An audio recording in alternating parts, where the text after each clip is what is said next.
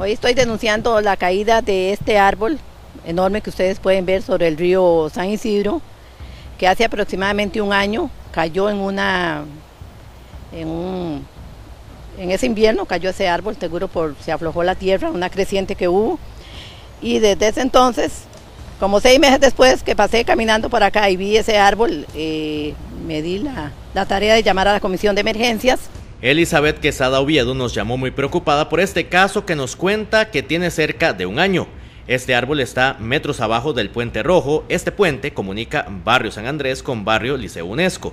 La denunciante habló con la Comisión Municipal de Emergencia y esto fue lo que pasó. Para ver qué hacía el licenciado Navarrete, quien me contestó que de inmediato iba a coordinar con la municipalidad para que le, le prestara el bajo para venirlo a quitar que incluso me dijo que ya estaba enterado, alguien le había contado.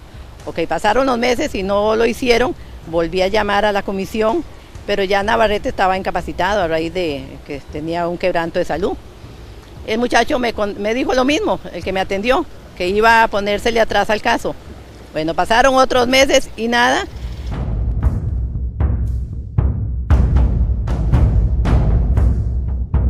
La preocupación es porque se puede dar una cabeza de agua en algún momento. Volví a llamar a la comisión y me dijo Navarrete, ¿cómo que no han, no han quitado ese árbol de ahí? De inmediato voy a hablar con la municipalidad para, para hacerlo.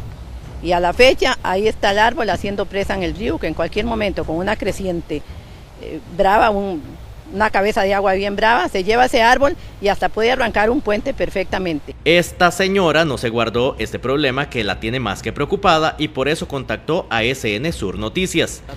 Un año aproximadamente, como usted puede ver, ya el, árbol se ve viejo y está lleno de hijos. Ya hijo ahí botado. Sí, bastante, más de un año quizás. Nos comprometemos a buscar una respuesta a este tema que preocupa a esta vecina de Barrio Liceo UNESCO. Y también vea la próxima semana a quién usted denuncia. Desde que empieza Brasil hasta que termina Pavones.